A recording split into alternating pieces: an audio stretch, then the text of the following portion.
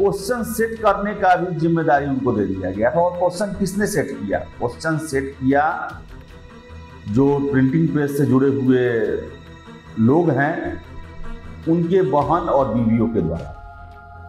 जिसमें एक homeopathic doctor है और एक जो है, वो कुछ नहीं करती। बस बहन। इस कुमार ने कहा था ना कि जो भी भ्रष्टाचारी रहेंगे, उनकी हम संपत्ति को नीलाम कर देंगे, उनके घर में जो है स्कूल खोलेंगे तो इसके सिंगल जो हैं, उसके लिए सबसे उपयुक्त जो है, अपना सारा क्राइटेरिया ये पूरा कर चुके हैं। ये ऐसे व्यक्ति हैं जिनकी संपत्ति नीलाम करनी ही चाहिए। एक्सपर्ट का भी पैसा आपने खाया होगा, आपने तो लिस्ट में दिया होगा कि हमारे पास दस दस एक्सपर्ट है, यहाँ से हम क्वेश्चन छपवाते हैं, वो इतना पैसा लेते हैं।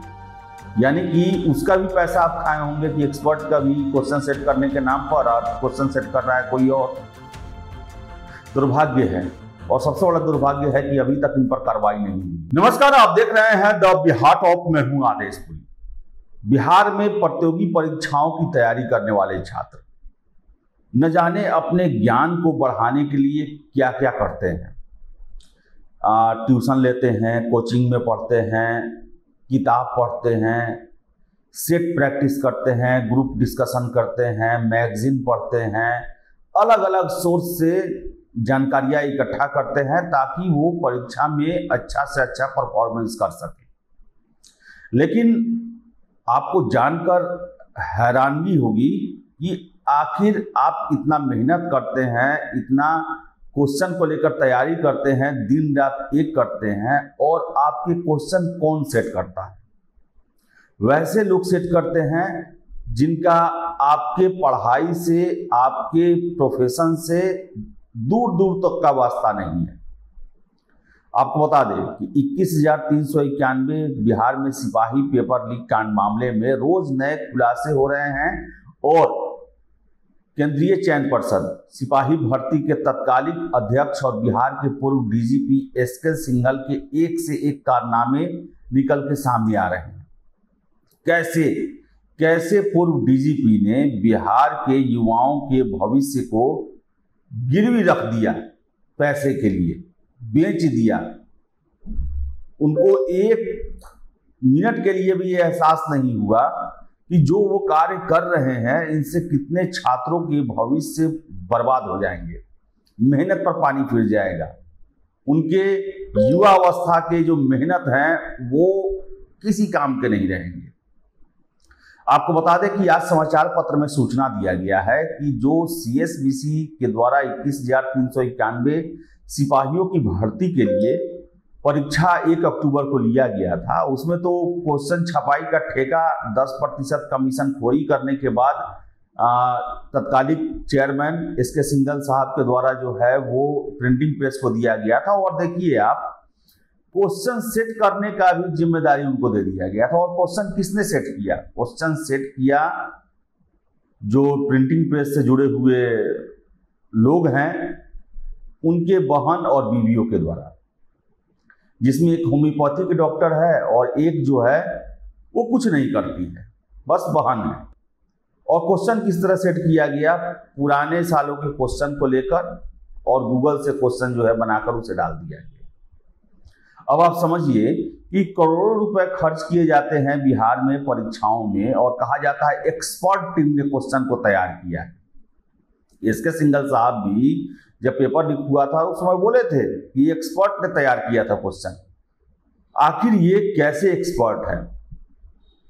कि प्रिंटिंग प्रेस के हवाले कर दिया जाता है यानी कि आ, वो भी वैसा प्रिंटिंग प्रेस जो कि ऑलरेडी ब्लैक लिस्टेड है जिस पर कई राज्यों में पेपर लीक करने के आरोप लगे हुए हैं। और आपने कैसे ये मान लिया कि जिस पर पेपर लीक का आरोप लगा हुआ है एक साल पुराना वो प्रिंटिंग प्रेस है, जिसके पास प्रिंटिंग प्रेस के नाम पर कुछ भी नहीं है, जो प्रिंटिंग प्रेस खोले ही हुए है जालसाजी के लिए, वो क्वेश्चन आउट नहीं करेगा।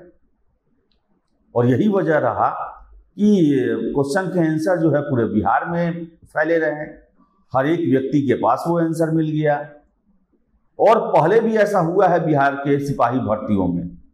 एग्जामिनेशन से पहले आंसर वायरल हुए हैं। छात्र इसी वजह से एग्जामिनेशन सेंटर में घुसने में देरी करते थे कि लास्ट लास्ट तक मोबाइल पर वो आंसर आ जाते थे और वही पूछे जाते थे एग्जामिनेशन के दौरान।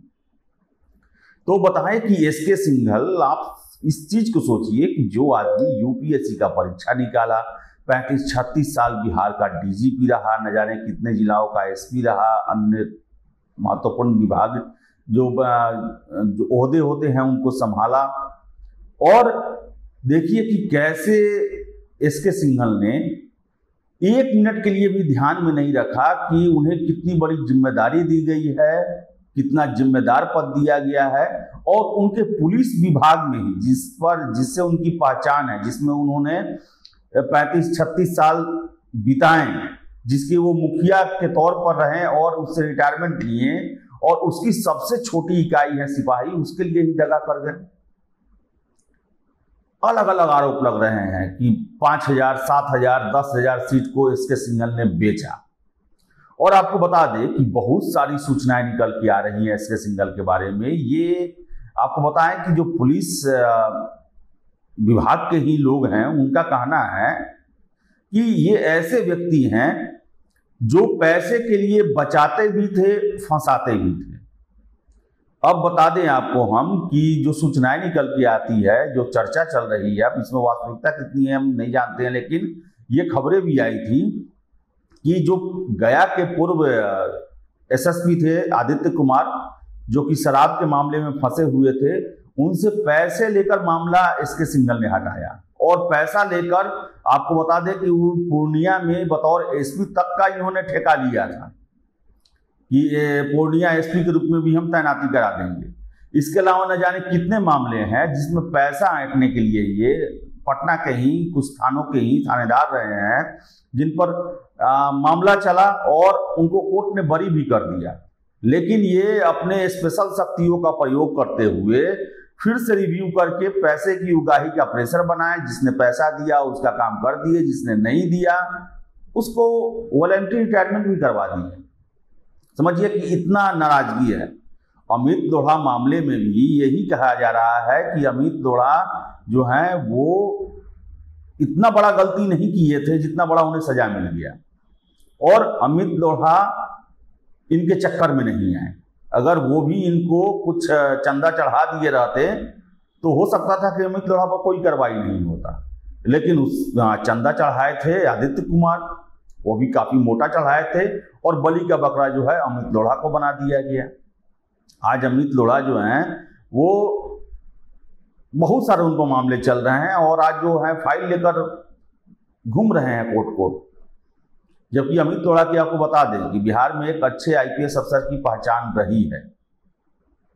तो बताएँ कि एस के सिंघल को लेकर जो है समाचार पत्रों में खबर दिया गया है, जिसमें यह कहा गया है कि जो क्वेश्चन जो सेट हुआ वो प्रश्न पत्र सेट करने के लिए विशेषज्ञों की मदद नहीं ली गई। प्रश्न पत्र कार्टेक्स प्रिंटिंग प्रेस के निदेशक और होम्योपैथी की डॉक्टर सुपर्णा चक्रवर्ती और प्रिंटिंग प्रेस के मालिक की बहन संगमित्रा कर ने सेट किया। आपको बता दें कि संग, संगमित्रा ब्लेसिंग सिक्योर के मालिक कौशिक की बहन है। वह ग्रेजुएट है भाई की कंपनी में ही नौकरी करती है। दोनों ने पुराने प्रश्न पत्र क्वेश्चन बैंक और गूगल की मदद से सिपाही बहाली का प्रश्न पत्र सेट किया।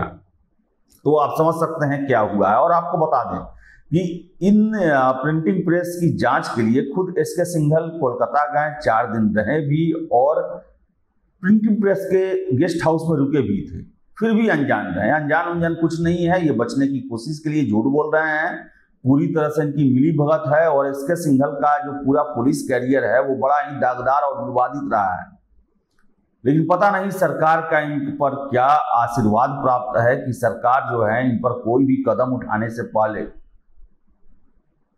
पचास बार सोचती है या कहा जाए तो एक तरह से रिवार्ड ही देते चली आ रही है, इनाम मिल रहा है इनको।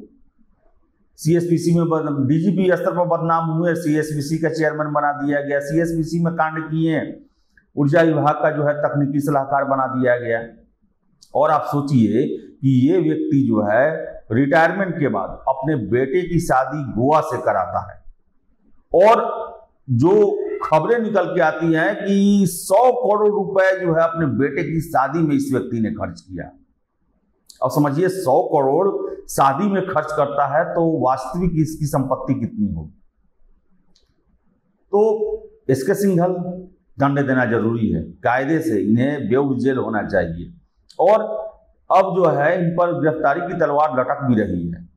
संपत्ति इनकी सीज होनी चाहिए। ऐसे ही मामले जो हैं, जिन पर नीतीश कुमार ने कहा था ना कि जो भी भ्रष्टाचारी रहेंगे, उनकी हम संपत्ति को नीलाम कर देंगे, उनके घर में जो है, स्कूल खोलेंगे तो इसके सिंगल जो हैं, उसके लिए सबसे उपयुक्त जो है अपना सारा क्राइटेरिया ये पूरा कर चुके हैं। ये ऐसे व्यक्ति हैं जिनकी संपत्ति नीलाम करनी ही चाहिए। और हम आशा करेंगे कि नीतीश कुमार जो है, वो इसके सिंगल पर कार्रवाई ज़रूर करेंगे ताकि एक नजीर बने कि कोई भी बड़ा अधिकारी जो इतने वर्षों तक सेवा करता है और पैसे के लिए लाखों युवाओं के भविष्य को बेच देता है। इतना बेशर्मी और इतना घोटाला, कुकर्म। आप सोचिए कि आपने 10 परसेंट कमीशन पर क्वेश्चन भी छापने का ठेका दिया।